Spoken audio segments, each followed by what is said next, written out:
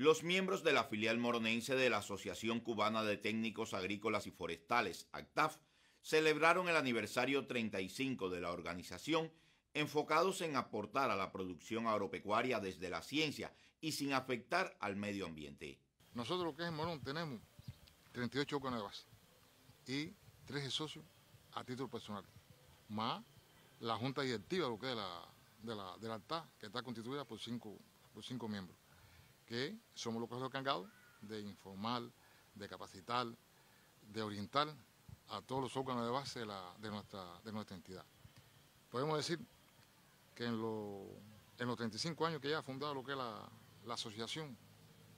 prácticamente eh, nosotros a partir de, del año eh, de los años 90 fue que Morón entra lo que es a la asociación y de ahí para acá el trabajo lo que es íntegro, eh,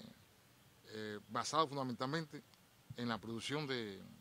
alimentos. Los integrantes del ACTAF en el territorio laboran para mejorar el funcionamiento de los órganos de base, para incrementar la membresía de la organización, perfeccionar la preparación de todos los técnicos y aportar para una aplicación efectiva de la ciencia, la técnica y la agroecología. Ahí las perspectivas eh, son fuertes en, primer lugar, eh, obtener semillas de alto potencial productivo, que eso es lo que te garantiza lo que es una buena, una buena producción. Una buena cultura, trabajar en base a una buena cultura eh, varietal, de que los productores eh,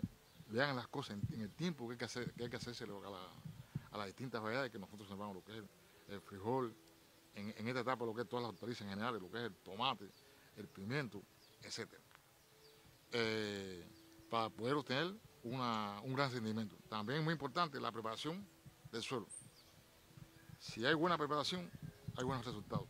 Entre las principales metas de la organización en Morón sobresale la puesta en práctica de todos los programas, que permitirá aportar oportunamente al incremento de las cosechas de distintos cultivos, al autoabastecimiento local y la soberanía alimentaria que reclaman las instituciones estatales y la población y Osvani Jiménez Hernández, Portal Noticias.